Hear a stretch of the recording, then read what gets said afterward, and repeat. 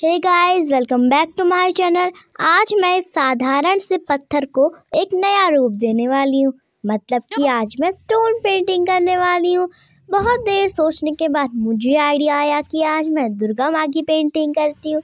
आपको मेरी पेंटिंग कैसी लगी? मुझे कमेंट